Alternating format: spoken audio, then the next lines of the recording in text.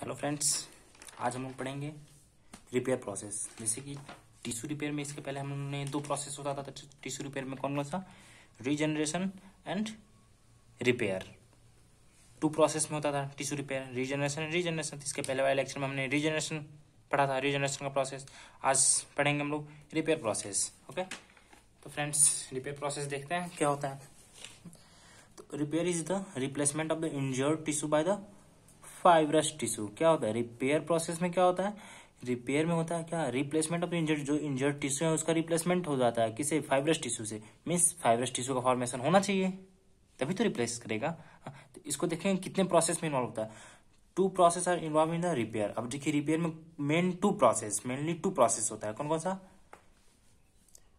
Granulation tissue formation and wound contraction and strength ये main two process है। एक ये granulation tissue formation and second one is wound contraction and strength okay अब जो granulation tissue formation है, इसमें four phase होते हैं। कौन कौन से? Bleeding phase inflammatory phase proliferative phase and remodelling phase तो पहले हम पढ़ लेते हैं वुंड ओके तो दो फ़ेज़ होता है। अब देख लेते हैं कैसे होता है? Repair response repair response takes place by the participation of the मतलब रिपेयर में कौन कौन से रिस्पॉन्स होते हैं? रिपेयर प्रोसेस के लिए कौन कौन से सेल रिस्पॉन्स होते हैं? तो हमारे मीजन काइमल सेल्स हो गए, जिसमें क्या क्या आता है? Connective tissues stem cells fibrocytes and histiocytes and endothelial cells macrophages platelets and parenchymal cell of the injured organ means repair process जो है हम लोग का, उसमें कौन कौन से सेल्स इन्वॉल्व होते हैं रिपेयर के लिए? तो mesenchymal cell fibroblast histiocytes connective tissues stem cells endothelial endothelial cells macrophages platelets and parenchymal cell of the injured organ मतलब इंजोर्ड ऑर्गन के पेरेंकाइमल सेल ये सेल्स हैं जो रिपेयर प्रोसेस में इन्वॉल्व होते हैं। तो दो प्रोसेस था हमारा कौन कौन सा? Granulation tissue formation and wound contraction and strength तो पहला हम पढ़ेंगे granulation tissue formation okay friends granulation tissue formation क्या होता है? The term granulation tissue formation drive from the drive from its name from slightly granule मतलब देखिए granulation tissue formation mainly क्या क्या होता है? Grain granular sorry granular and pink appearance of the tissue इसमें क्या होगा? ग्रेनुलर और pink appearance of the tissue tissue का ग्रेनुलेशन हो जाएगा और पिंक अपीरेंस हो जाएगा। और सेकंड प्रोसेस सेकंड क्या होगा?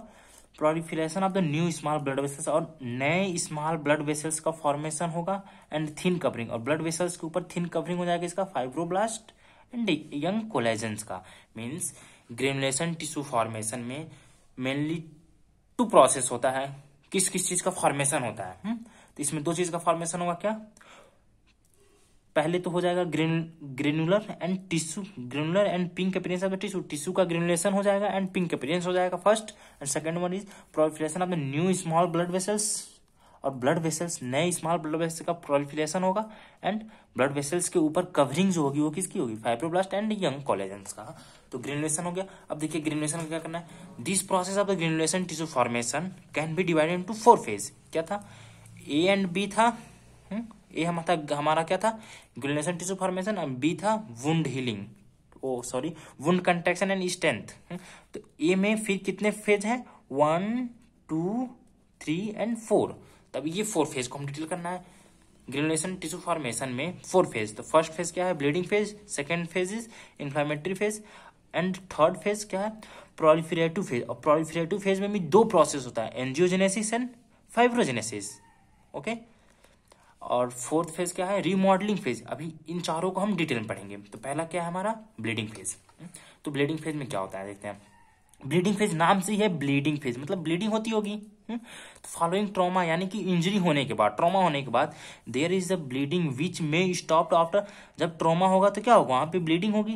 ब्लीडिंग क्या होगा? कुछ समय बाद स्टॉप हो जाएगा फ्यू आवर कुछ घंटे बाद स्टॉप होगा जब स्टॉप होगा तो क्या होगा? फॉलोइंग द क्लॉटिंग क्लॉटिंग के थ्रू तो स्टॉप होगा ना ब्लीडिंग तो clotting of the blood blood का क्लॉटिंग होना at the side of the injury injury के साइड पे क्या होगा? ब्लड का क्लॉटिंग हो जाएगा। ब्लीडिंग फ़ेज़ में ये हो गया अब सेकेंड फ़ेज़ क्या था? इन्फ्लामेटरी फ़ेज़ इन्फ्लामेशन फ़ेज़ होता है, ठीक है? इन्फ्लामेशन का it is an essential component of the healing process के जो इन्फ्लामेटरी फ़ेज़ है, ये इसेंशियल कंपोनेंट है हीलिंग प्रोसेस का, हा? Second point after bleeding clot after blood clot sorry after blood clot bleeding phase में क्या होता था? ब्लड क्लॉट हो जाता था। देखिए, वही उसके बाद वाला फ़ेज़ है ब्लीडिंग हम्म? फ़ेज़ के जस्ट बाद इन्फ्लामेशन फ़ेज़ होगा इन्फ्लामेशन फ़ेज़ कैसे होगा? जब ब्लड क्लॉट हो जाएगा after blood clotting inflammatory process start blood clotting के बाद इन्फ्लामेटरी प्रोसेस स्टार्ट होगा बाई विच अब देखिए ब्लड क्लॉट के बाद इन्फ्लामेटरी प्रोसेस स्टार्ट कैसे जब ब्लड क्लॉट क्लॉट होता है तो क्लॉटिंग में क्या क्या आता है? फाइब्रिन होता है फाइब्रिनोजेन होता है। अब ये फाइब्रिन फाइब्रिनोजेन कुछ ऐसे केमिकल सिक्रेट करते हैं, जिसके वजह से क्या होते हैं?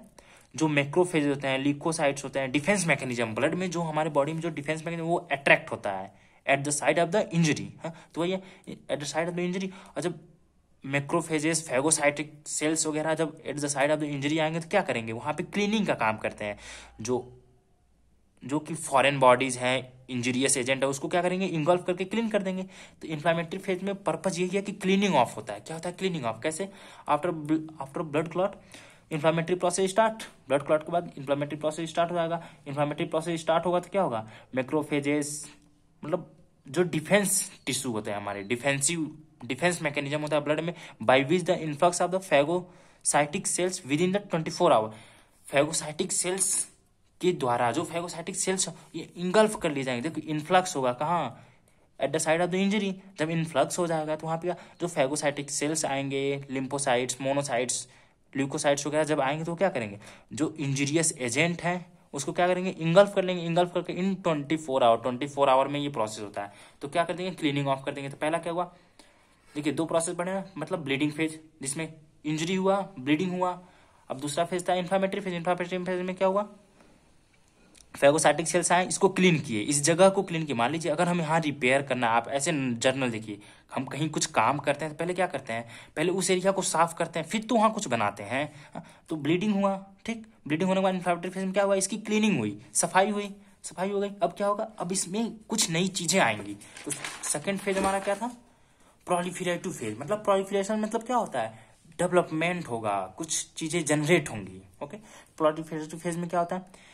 This phase involves the generation of the repair material that form the initial granulation tissue देखिए, इस फ़ेज़ में क्या है? प्रोलिफेटिव फ़ेज़ में क्या है? जो जनरेशन मटेरियल है जनरेटिव मटेरियल्स हैं रिपेयर के लिए जो जो चीज़ें रिक्वायरमेंट है, हा? जो जो जनरेटिव मटेरियल्स हैं, जो जो मटेरियल्स रिक्वायरमेंट है, उसका क्या होगा? फॉर्मेशन होगा। इनिशियल टू इनिशिएट क्या? ग्रेनुलेशन टिश्यू टिश्यू ग्रेनुलेशन के फॉर्मेशन के लिए जो जो मटेरियल्स रिक्वायर्ड है, उसका क्या होगा यहाँ पे? जनरेशन होगा दिस फ़ेज़ में प्रोलिफरेटिव फ़ेज़ इट बिगिन ये कब से स्टार्ट होता है? One to two day after injury injury के एक से दो दिन बाद प्रोलिफरेटिव फ़ेज़ स्टार्ट हो जाता है और कब खत्म होता है?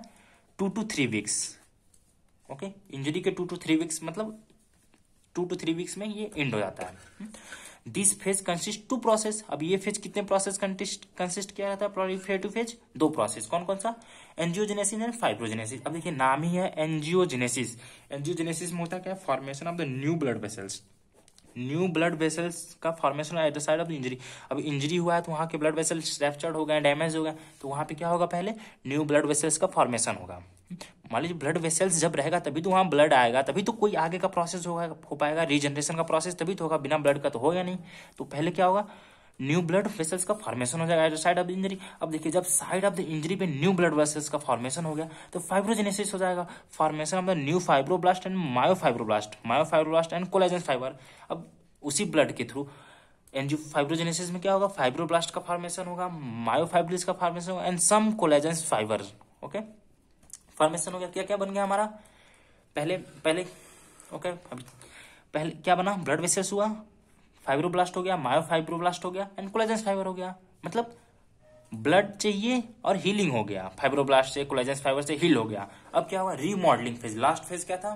फोर्थ फ़ेज़ रीमॉडलिंग फ़ेज़ तो रीमॉडलिंग फ़ेज़ नाम ही है, इसका नाम से देखिए रीमॉडलिंग मतलब मॉडलिंग जो हमारी मॉडलिंग पहले थी टिश्यू की जो हिस्टोलॉजी था, जो स्ट्रक्चर था, जैसे था, वैसे उसको रिमॉडलिंग करना है।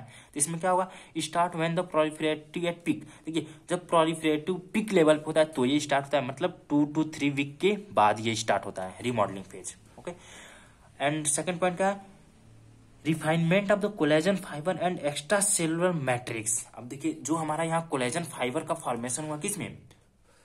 प्लॉरिफेरेटिव फ़ेज़ में जो कोलेजन फाइबर्स का फॉर्मेशन हुआ फाइब्रोब्लास्ट मतलब फाइबर्स का जो फॉर्मेशन हुआ एंड कोलेजन्स का तो उसका क्या होगा? उसका रिफाइनमेंट होगा मतलब क्लीनिंग होगी ओके क्लीनिंग होगी मतलब जो कंडीशन इंजरी के पहले था वो कंडीशन हमें लाना है तो उसके लिए रिफाइनमेंट करेगा कोलेजेंस फाइबर का एंड एक्स्ट्रा सेलुलर जो सेल एक्स्ट्रा सेलुलर जो मैट्रिक्स है हम्म, उसका भी रिफाइनमेंट होता है ठीक है?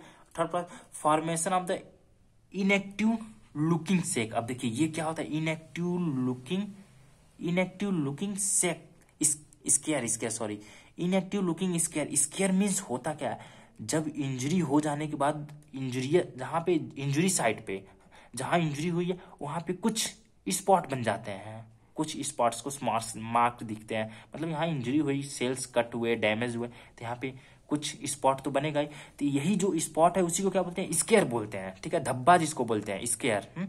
मतलब धब्बा, यानी कि इट्स मीन जहाँ इंजरी होती है, वहाँ पे कुछ मार्क तो रह जाता है ना स्किन पे। हम्म? तो वही जो मार्क्स है स्केयर है, उसको क्या करेगा? इनएक्टिव करेगा। किसमें? रीमॉडलिंग फ़ेज़ में इनएक्टिव होता है। मतलब वो थोड़ा कम होता है, दिखता नहीं है। उसको मैनेज करता है, उसको भरता है। ठीक? फोर फ़ेज़ अब देखिए, ये हम लोग फोर फ़ेज़ पढ़ लिए किसमें? Granulation tissue formation four phase था। Bleeding phase, inflammate, bleeding phase, inflammatory phase, proliferative phase. Proliferative में कौन कौन था? एनजीओ देखिए, ब्लीडिंग फ़ेज़ में क्या होता था? ब्लीडिंग होता था एंड क्लॉट हो जाता था। क्लॉट हुआ, फिर क्लॉट हुआ जिसके वजह से इन्फ्लामेटरी रिएक्शन स्टार्ट हुआ। इन्फ्लामेटरी रिएक्शन स्टार्ट हुआ तो क्या करेगा? क्लीन करेगा उस एरिया को, इंजरियस, इंजर्ड इंजर्ड एरिया को क्लीन किया। क्लीन कर दिया, ठीक? और प्रोलिफरेशन, क्लीनिंग के बाद क्या होगा? वहाँ पे फॉर्मेशन होगा क्या? जो मटेरियल्स रिक्वायरमेंट है, रिपेयर के लिए, उस मटेरियल्स का फॉर्मेशन हो गया इस फ़ेज़ में। प्रोलिफरेटिव फ़ेज़ में। अब देखिए कौन कौन से मटेरियल एंजियोजेनेसिस मतलब ब्लड वेसल्स का फॉर्मेशन हुआ। फाइब्रोजेनेसिस में fibrin myofibroblast fibroblast and collagen fibres का फॉर्मेशन हो गया, ठीक? एंड रीमॉडलिंग फ़ेज़ में क्या था? क्या हुआ था? जो स्केयर्स हैं, जो वहाँ पे स्केयर है हाँ उसको क्या करेगा? इनएक्टिव कर देगा। ओके तो हमारा यहाँ तक आप समझ गए? फ़र्स्ट में कौन सा, किसमें था? ग्रेनुलेशन टिश्यू फॉर्मेशन में। अब लास्ट फ़ेज़ कौन सा बचा? Wound contraction and strength okay तो देख लेते हैं वुंड कंट्रेक्शन एंड स्ट्रेंथ क्या होता है। तो देखिए friends wound contraction and strength क्या होता है? ये लास्ट प्रोसेस है हमारा ओके तो वुंड कंट्रेक्शन क्या होता है? The wound start contracting after the two two three days मतलब जो हमारा जहाँ पे इंजरी हुआ है, जो वुंड एरिया है, हा? जहाँ पे इंजरियस एरिया वो क्या करेगा? कंट्रैक्ट होना स्टार्ट करेगा। कितने? दो से तीन दिन के बाद कंट्रेक्शन स्टार्ट हो जाता है। This process is completed by the fourteenth day और ये प्रोसेस कितने दिन कंप्लीट हो जाता है? चौदहवें दिन पे मतलब टू वीक्स में कंप्लीट हो जाता है ओके अब देखिए कंट्रेक्शन का पर्पज क्या होता है इसमें? Through contraction wound is reduce the eighty percent of original अब नॉर्मल सी बात है, अगर यहाँ पे इंजरी हुआ है इस एरिया में ओके इतना इसका एरिया है सरफेस एरिया इतना है, अगर इसमें कंट्रेक्शन होगा तो एरिया तो कम होगा ना? तो क्या कर रहा है? कि थ्रू कंट्रेक्शन कितना रिड्यूस करता है area eighty percent of the original size मतलब एट्टी परसेंट एरिया कंट्रैक्ट होके लेसर हो जाएगा, छोटा हो जाएगा ओके तो छोटा बच गया हाँ। अब देखिए, जब एरिया छोटा है तो इसको रिपेयर करना भी आसान रहेगा ना। तो थर्ड पॉइंट ये due to the contraction repair healing repair healing takes place repair healing rapid sorry due to contraction rapid healing takes place क्या होता है? देखिए कंट्रैक्शन के बाद क्या होगा? एरिया कम हो गया। सरफेस एरिया कम होगा जब सरफेस एरिया कम होगा तो जो हीलिंग का प्रोसेस होगा, तेज़ी से होगा। तो वही है due to contraction rapid healing takes place because of the lesser surface area देखिए ना, क्या है? Because of the lesser surface area of the injurious tissue injury injurious area जो है, उसमें कंट्रेक्शन हुआ एटी परसेंट कंट्रैक्शन हो गया तो छोटा हो गया। जब एरिया कम हो गया तो हीलिंग का जो प्रोसेस है, वो तो रेपिड हो ही जाएगा ना। जब एरिया कम है तो प्रोसेस रेपिड हो जाएगा, तेज हो जाएगा। अब देखिए, एक था हमारा क्या था? वुंड कंट्रेक्शन एक इसमें क्या है? स्ट्रेंथ है अब इंजुरियस एरिया को स्ट्रेंथ कैसे मिलता है? स्ट्रेंथ भी तो चाहिए ना। जहाँ इंजरी हुआ, उसको पहले जैसा स्ट्रेंथ चाहिए ना, पहले जैसा नॉर्मल होना चाहिए। तो स्ट्रेंथ के लिए क्या होता है? Strength instant by the proliferation of the fibroblast and myofibroblast अब देखिए फाइब्रोब्लास्ट प्रोलिफरेटिव फ़ेज़ में हम पढ़े थे ना किस किस चीज़ का फॉर्मेशन होता था? Fibroblast myofibroblast and collagen fibres का। तो स्ट्रेंथ किसकी वजह से होता है? यही जो फाइब्रोब्लास्ट एंड मायोफाइब्रोब्लास्ट है जैसे जैसे ये मेच्योर होंगे फाइब्रोब्लास्ट मायोफाइब्रोब्लास्ट जैसे जैसे टाइम टेकिंग टाइम टेकिंग होने के बाद टाइम लेने के बाद ये क्या करेगा? स्ट्रेंथ बनाएगा। यही फाइब्रोब्लास्ट एंड मायोफाइब्रोब्लास्ट क्या बनाता है? इंजीरियस साइड का स्ट्रेंथ बढ़ाता है इंक्रीज करता है। After removal of the stitches stitches हाँ देखिए अब क्या होता है? अगर कहीं इंजरी होती है स्टेचेज लगता है ना, कहीं भी बॉडी पे इंजरी हो गई, अगर सीवियर इंजरी है तो क्या होता है स्टेचर लगता है स्टेचर देखिए स्टेचर कितने दिन पे? After remove of the suture around the seven day अगर सेवेंथ डे के बाद अगर हम स्टेचर को रिमूव करते हैं the wound strength is come approximately ten percent after जब स्टेचर निकाल दिए जाते हैं तो वुंड का स्ट्रेंथ कितना बड़ा रहता है? बस ten percent approximately ten percent और टेन परसेंट ये किसकी वजह से होता है? फाइब्रोब्लास्ट एंड मायोफाइब्रोब्लास्ट के प्रोलिफरेशन की वजह से। हाँ, और एट्टी परसेंट कितने दिन में कंप्लीट होता है? थर्ड मंथ थ्री मंथ्स में okay eighty percent three months में स्ट्रेंथ आ जाता है और ten percent after seven days by which fibroblast and myofibro myofibroblast and fibroblast and myofibroblast is formed in which phase तो proliferative phase proliferative phase में कितने steps होते थे? टू स्टेप्स कौन कौन से? कौन कौन से होते थे? एंजियोजेनेसिस में फाइब्रोजेनेसिस एंजियोजेनेसिस में क्या होता था? ब्लड वेसल्स एंड फाइब्रोजेनेसिस में फाइब्रोब्लास्ट एंड मायोफाइब्रोब्लास्ट तो ये था हमारा रिपेयर प्रोसेस रिपेयर प्रोसेस एक बार और रिवीजन कर लेते हैं कैसे यहाँ से? देखिए रिपेयर प्रोसेस कितने प्रोसेस रिपेयर जो था, वो कितने प्रोसेस में होता था? कितने स्टेप्स में? टू प्रोसेस में. Granulation tissue formation and wound contraction and strength तो ग्रेनुलेशन टिश्यू फॉर्मेशन कितने कितने फ़ेज़ थे? फोर फ़ेज़ कौन कौन से? Bleeding phase inflammatory phase proliferative phase proliferative phase में कौन कौन से? Angiogenesis and fibrogenesis and fourth one is remodelling phase अब देखिए ब्लीडिंग फ़ेज़ में क्या होता था? मीन्स हमारा granulation tissue formation four phase bleed पहला ब्लीडिंग फ़ेज़ ब्लीडिंग फ़ेज़ में क्या होता था? जहाँ ट्रॉमा होता था, वहाँ पे इंजरी इंजरी की वजह से क्या हुआ? ब्लड लॉस हुआ. ब्लड लॉस हो रहा है तो within few hours blood clot कर जाएगा. आफ्टर क्लॉटिंग क्या होगा? बस ब्लड क्लॉट हो गया. ब्लीडिंग फ़ेज़ खत्म. इन्फ्लामेटरी फ़ेज़ में क्या होता था? Due to the clotting of the blood clotting of the blood की वजह से क्या होता था? इन्फ्लामेटरी रिएक्शन स्टार्ट हो जाता था। इन्फ्लामेटरी क्योंकि जिस जो क्लॉट हुआ रहता है, जो एरिया क्लॉट हुआ, वहाँ पे क्या होगा? फाइब्रोजिन होगा फाइब्रोब्लास्ट होगा। जब ये सेल्स क्या करेंगे? कुछ केमिकल सिक्रेट करते हैं, जिसकी वजह से क्या होता है? जो डिफेंस सिस्टम हमारे डिफेंस मैकेनिज्म जैसे डब्ल्यू होते हैं, क्या होते हैं? डिफेंस मैकेनिज्म यही मेंटेन करते हैं। जो डब्ल्यू सेल होते हैं ल्यूकोसाइड लिम्फोसाइड्स मैक्रोफेजेस जो सेल होते हैं, वो क्या होंगे? अट्रैक्ट होंगे। जब अट्रैक्ट होंगे तो क्या करेंगे? इन फेगोसाइटिक सेल्स का क्या काम होता है? इंगल्फ करना। हम्म, तो ये इंगल्फ इंजुरियस एजेंट को इंगल्फ करके इंजर्ड एरिया को क्या कर देते? क्लीन कर देते। थे क्लीनिंग ऑफ़ हो गया। इसमें ब्लीडिंग हुआ इसमें क्लीनिंग ऑफ़ हो गया। अब क्लीनिंग ऑफ़ हो गया तो क्या होगा? कुछ क्लीनिंग ऑफ़ हो गया तो रीजनरेशन यहाँ पे। प्रोलिफरेटिव फ़ेज़ में क्या होगा? कुछ कुछ मटेरियल्स का फॉर्मेशन होगा किस मटेरियल का जो मटेरियल्स रिक्वायर्ड होते हैं किस चीज़ के लिए? रिपेयर के लिए जो जो मटेरियल्स रिक्वायर्ड होने चाहिए रिक्वायर्ड होते हैं रिक्वायर्ड मटेरियल्स को फॉर्मेशन होगा। अब वो रिक्वायर्ड मटेरियल्स दो फ़ेज़ में फॉर्मेशन होता है। कौन कौन से फ़ेज़ में? एनजियोजेनेसिस एंड फाइब्रोजेनेसिस अब एनजियोजेनेसिस क्या होता है? एनजियोजेनेसिस में न्यू ब्लड वेसल्स का फॉर्मेशन होगा। अब देखिए न्यू ब्लड वेसल्स कैसे फॉर्म होगा? क्यों? इंजरी हुआ है तो पे जो ब्लड वेसल्स हैं, वो तो रेप्चर्ड हुए ना डैमेज हुए ना। अब विदाउट ब्लड नो जनरेशन मतलब बिना ब्लड का कोई ग्रोथ नहीं होगा, कोई जनरेशन नहीं होगा, कोई प्रोलिफरेशन नहीं होगा। तो पहले क्या होता है? एंजियोजेनेसिस एंजियोजेनेसिस मींस एंजियोजेनेसिस होता है तो क्या होता है? न्यू ब्लड वेसल्स का फॉर्मेशन हो जाता है। अब जब न्यू ब्लड वेसल्स का फॉर्मेशन होगा फाइब्रोजेनेसिस में क्या होगा? Fibroblast myo myofibroblast and collagen fibres का। हो गया। ब्लड वेसल्स आ गया कोलेजन सेल्स आ गए कोलेजन फाइबर्स आ गए। हम्म तो हीलिंग लगभग लगभग कंप्लीट हो चुका है यहाँ पे। ठीक है? यहाँ तक थर्ड प्रोसेस तक हीलिंग अप्रोक्सीमेटली कंप्लीट हो चुका रहता है एट्टी परसेंट अब री मॉडलिंग क्या होता है? मॉडलिंग बस क्या होता है? जो स्केम स्क्रेप स्क्रेप था ना? हाँ जो स्क्रेप्स होते हैं ओके स्केयर सॉरी जो स्केयर्स हाँ जो स्केयर्स होते हैं मतलब जिस एरिया में इंजरी हाँ, हुई है वहाँ पे कुछ ना कुछ मार्क्स रह जाते हैं स्पॉट्स बन जाते हैं हाँ, तो वही स्पॉट को क्या करता है? रिमॉडलिंग फ़ेज़ में इनएक्टिव करता है हीलिंग करता है। हाँ। हीलिंग प्रोसेस करता है। और जो मायोफाइब्रिल्स हैं, उसको क्या करता है? रिफाइंड करता है फ़िल्टर करता है ओके तो ये हमारा था। पहला का हो गया चार फ़ेज़ में। Granulation tissue granulation tissue formation का four phase and last phase क्या है? वुंड कंट्रेक्शन एंड स्टेन अब देखिए वुंड कंट्रेक्शन स्टेन क्या था क्या होता था? वुंड का कंट्रेक्शन हो जाता था। कंट्रेक्शन एट्टी परसेंट वुंड का कंट्रेक्शन हो गया। वुंड एरिया जो है, जो इंजर्ड एरिया उसका एट्टी परसेंट कंट्रेक्शन हो गया ओके जब एट्टी परसेंट कंट्रैक्शन हो गया तो उसका जो सरफेस एरिया कम हो गया, जब सरफेस एरिया कम हो जाएगा तो रेपिड हीलिंग होगा। हीलिंग का प्रोसेस इंक्रीज कर जाएगा, क्योंकि एरिया कम है तो हीलिंग अब स्ट्रेंथ किससे मिलता था? स्ट्रेंथ मिलता था फाइब्रोब्लास्ट एंड मायोफाइब्रोब्लास्ट से। स्ट्रेंथ मिल जाएगा, जैसे जैसे स्ट्रेंथ अप्रोक्सीमेटली कितने कितने दिन में? थ्री मंथ्स में क्या होता था?